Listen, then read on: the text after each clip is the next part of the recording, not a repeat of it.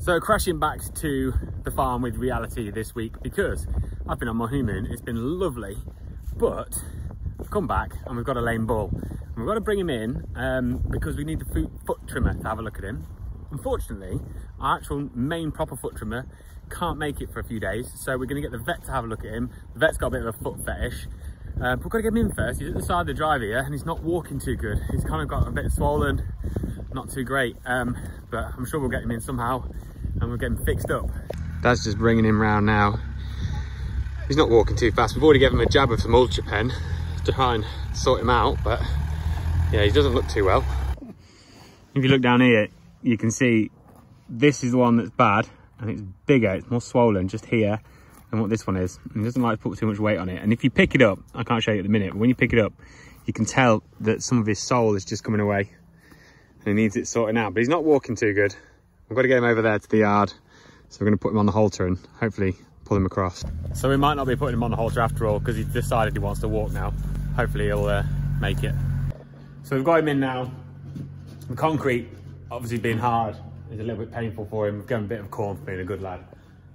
Um, he stood up all right. He did sit down a minute, but uh, hopefully Ruben won't be too long and we'll get this sorted out. We've got to wait for Ruben now.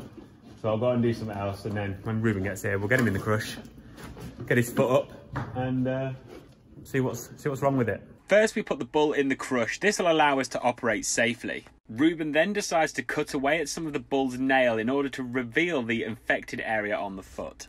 You can soon see the pocket of infection revealed here. This is most likely the cause of the bull's lameness. Upon further inspection, Ruben tells us that the wound is actually full of maggots. These have been laid in the pocket of infection by blowfly when the bull has been laid in the field. As you can imagine, this is likely to be a very uncomfortable sensation for the bull.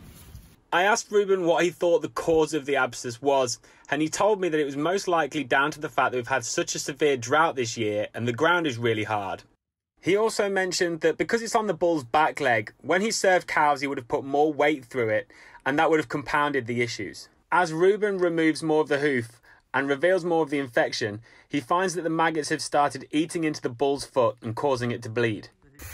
Yeah, there's going to be some blood. Um... Once Ruben gets this part, he removes the rest of the infected tissue very carefully in order not to disturb any of the living flesh underneath. He then asked me if I could go and fetch a bucket of cold water in order to clean the bull's foot. This will stop it getting infected any further. He uses the water to clean the bull's foot before adding iodine. The iodine will help dry the wound and prevent any further infection from occurring. He then trims the bull's feet using what are effectively massive toenail clippers. This allows Ruben to shape his foot so that once healed, the bull can stand properly. He then decided to look at the other side of the bull's foot and found that there was another pocket of infection lurking underneath. The decision was made not to prise any further, as this would mean the bull wouldn't be able to use his foot at all.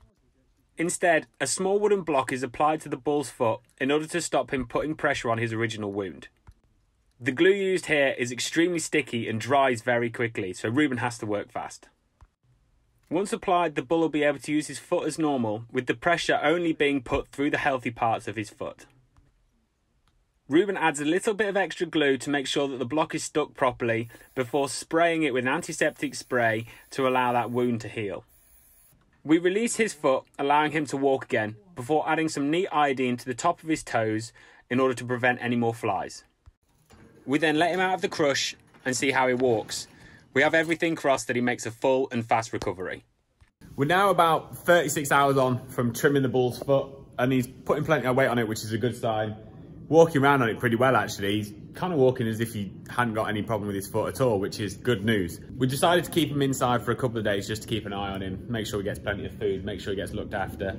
Um, just gave him some corn, so he's pretty happy at the minute. He's quite content, which is good you might have noticed he's lost a bit of condition because he's been working. He's not in with the cows now, so all the bulls are out of the cows, which is good. The plan now is to get the foot trimmer, the proper one, back in a couple of weeks' time, trim up all the bulls' feet and get them ready for the winter so that they're all good going back into the sheds, into their individual pens, and then we'll have a look at him again, see whether he's healing on that one side, and we'll keep getting the foot trimmer back until we have one side healed and we can have a look at that other side. If we keep treating him with antibiotics as well, hopefully that'll reduce that other infection but it's just a bit of a waiting game. Ruben did drop a bit of a bombshell on us when he left though, because he told us that with that one infection on one side, and we're having to wait for that to heal, and then we'll have to treat the other infection on the other side, even though we're giving him antibiotics and things to try and help clear up these infections faster, it might not get cleared for next year, which considering all the bull issues we've had this year, to think that we might not even have this bull ready to work next year is a proper kick in the teeth. But we've got everything crossed. We can do everything we can do, give him a proper pamper session over the winter. And hopefully when it comes to next June, we can turn him out. But the thought of having bull issues next year without even getting through this year yet is, oh, nightmare. But it is what it is. Just do our best for him. That's all we can do. If you enjoyed the video, guys, want to check out some of the other videos that are on the screen right now, or click on my face down below to subscribe to the channel. Whatever you're up to this weekend, have a great one. I'll see you all soon. Bye.